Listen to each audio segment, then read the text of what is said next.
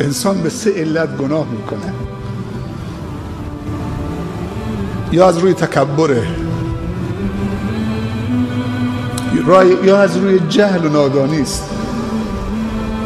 یا از روی ضعف و اراده هست و غفلته.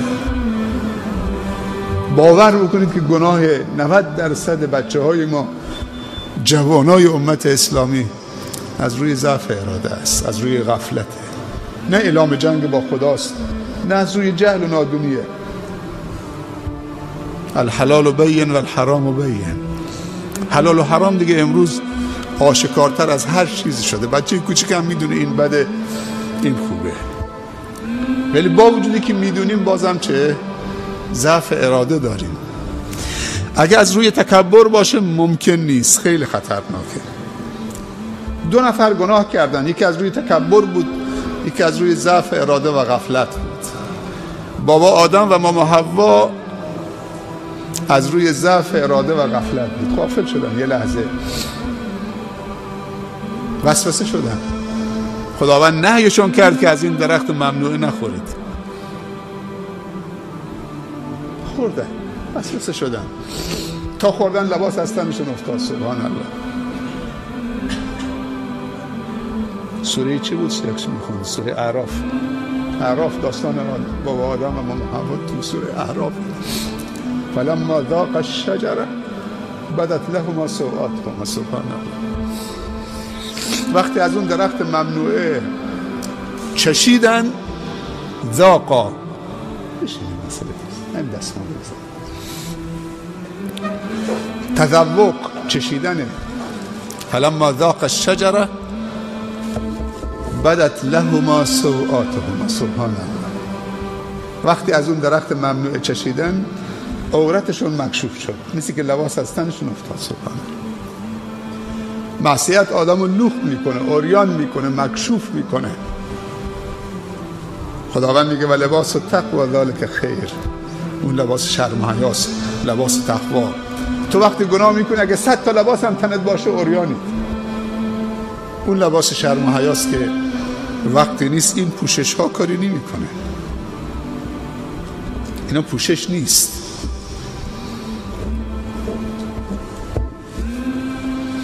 فتفقا یخصفان علیهما من ورق الجنه. دیگه دست باچه شدن اصلا. خودشونو گم کردن هول شدن. برگای درخت میکندن رو شرمگاهشون رو عورتشون میگذاشتن. چی شد یک دفعه؟ سبحان الله. دو نفر گناه کردن. ابلیس برای همین بابا آدم و ماما حوا سجده نکرد. سجده شرف نه سجده عبادت. گفت من جنسم از آتشه. این از خاکه. من برای این سجده بکنم. اعلام جنگ با خدا کرد. قسم یاد کرد که من بنده تو گمراه می‌کنم. و و ایستاد. نافرمانی کرد. تکبر ازازیل را خار کرد. به زنجیر مهنت گرفتار کرد. اگه گناه می‌کنید از روی تکبر هم نباشه. اعلام جنگ با خدا نباشه. نگید تو چه کاره هستید. من هرچی دلم خواست انجام میدم و وقتی عبادت خدا هم می‌کنید غرور به عبادت دوچارش نشید غرور با عبادت بدتر از تواضع و گریه و زاری با معصیته. اگر کسی گناه می‌کنه لغزش پیدا می‌کنه خطا می‌کنه ولی گریه می‌کنه خودشو سرزنش می‌کنه این خیلی بهتر از اونی که مغرور با چهار رکعت نمازش. وقتی سجده می‌کنید دعا بکنید خدایا. خودت مهر قبول بزن دیگه بیشتر از من بر نمی آمد همین چیز ناقصه ناچیزه. خدایا تو مهر قبولش بزن تا لایق و زیبنده درگاه تو باشه. این نماز ناقص و این حواس پرتی ها و این عبادت های ناقص. الله باید مهر قبول بزنه.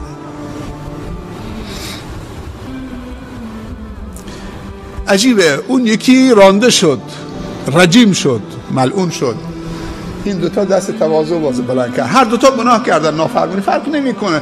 تو از درخت نکنی یا سجده برای آدم نکنید مهم که تو نافرمانی خدا کردی. یکی از روی تکبر بوده یکی از روی ضعف اراده بوده. اما بابا آدم و ماما هوا وقتی که لباس هستنشون افتاد دیگه فهمیدن که اشتباه کردن دوتاییشون دست بلند کردن. برادرمون ستارم خون دنباله آیات ربنا ظلمنا انفسنا و ان لم تغفر لنا. و ترحمنا لنکونن من الخاسرین. همون دستشون پای همجور میره ارزوندن دستشون. همون دستشون پایین نیامده بود که چه؟ خداوند قبولشون کرد. دو نفر گناه می‌کنن یکی رانده میشه یکی پذیرفته میشه. داستانش چیه؟ اون یکی گناه از روی تکبر بوده این یکی از روی ضعف اراده بوده. یک گناهی دیگه یکی از علتاش جهله. یه وقت تو نمی‌دونی که این گناه مرتکب میشی. یه دوستی بعد از سالهای سال بهت میگه برادر تو نمی‌دونی که این کار درست نیست در شریمی خدا ببخشه توبه نسو من نمیفهمیدم. کسی به من نگفته بود که این گناهه. حالا که فهمیدم دیگه توبه نسو دیگه نمی کنم سبحان الله. این هم مشکلی نداره. انسان اگه از گناه از روی نادانی بکنه نمی‌فهمی گناهه بعد که بهش تذکر میدن تواضع به خرج میده. این خدا منو ببخشه. من نمیفهمیدم. عالمم در کنارم نبود. حالا که رفتم هجرت کردم رفتم جای دیگه بالاخره عالمی دیدم کسی دیدم از من آگاهتر بود. بهم تذکر داد. خدا منو ببخشه دیگه.